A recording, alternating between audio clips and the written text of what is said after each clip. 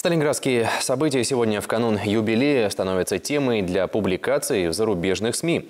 Специально к знаковой дате в Европу отправится экспозиция музея «Панорамы». Выставка «Сталинград. Призыв к миру» откроется для посетителей в Париже уже 5 февраля. Волгоград уже не первый год реализует этот международный проект.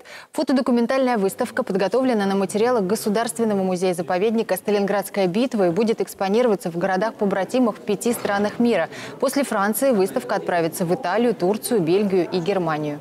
Посетители выставки смогут также посетить семинары и круглые столы, посвященные истории Сталинградского сражения. Свое обращение к жителям европейских городов, которые придут на выставку, сегодня записали волгоградские ветераны.